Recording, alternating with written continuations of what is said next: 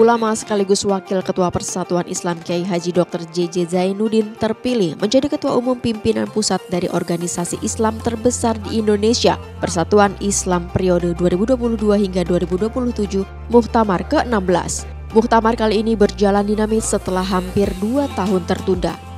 Setelah terpilihnya Kiai Haji Dr. JJ Zainuddin menjadi Ketua Umum Pimpinan Persis mengakui tentunya akan banyak tantangan di berbagai perubahan dinamis dan cepat, di antaranya merespon isu-isu keumatan, kebangsaan, isu nasional untuk kemaslahatan umat dan bangsa. Ya pertama tentu kita harus nyiapin dulu uh, susunan pengurus ya pimpinan hmm. karena hmm. diamanahkan 14 hari. Hmm.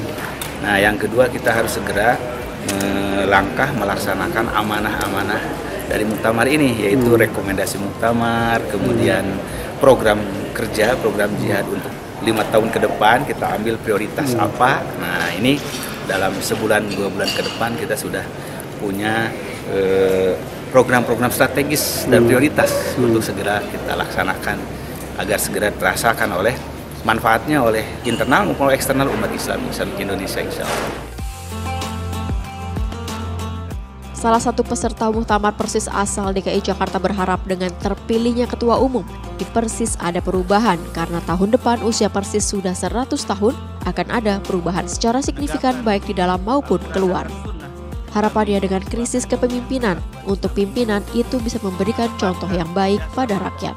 Artinya mencari pengurusnya untuk solid hmm. yang bisa menginginkan supaya betul-betul maju Persis itu yang harapannya yang di dalam pasti semua kita beresin itu.